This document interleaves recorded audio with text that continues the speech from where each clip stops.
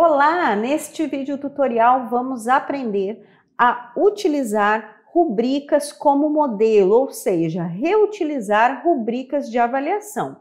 Então, para isso, eu vou clicar na tarefa na qual eu quero configurar, vou aqui na engrenagem e vou em avaliação avançada. Neste caso, eu já configurei a tarefa para o método de avaliação para rubrica e ao invés de definir uma nova avaliação do início, eu vou nessa outra opção, criar avaliação a partir de um modelo. E aí, neste caso, eu preciso clicar aqui em incluir meus próprios formulários e buscar. E aí, o sistema vai localizar em todas as salas, todos os cursos, todas as disciplinas que eu já utilizei rubricas, eu como professora, e vai me dar as opções aqui. Então, é como se eu tivesse aí um banco de todas as minhas rubricas disponível para utilizar em qualquer atividade aqui do tipo tarefa. E aí eu vou procurar qual é a rubrica que eu quero utilizar nessa atividade,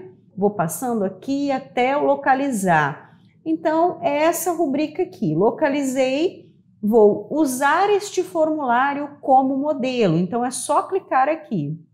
Aí tem essa mensagem de confirmação. Eu vou clicar em continuar.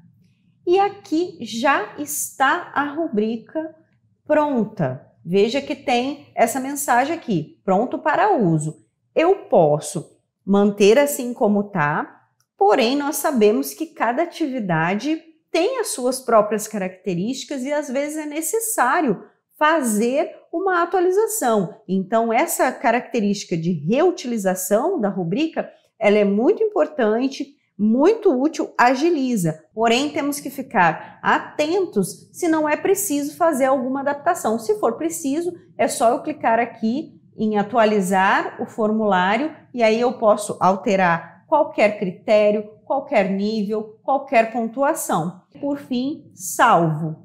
E aí ela já está disponível para uso e se você quiser visualizar, basta acessar o tutorial visualizando a rubrica criada para fazer esse procedimento. Até o próximo tutorial.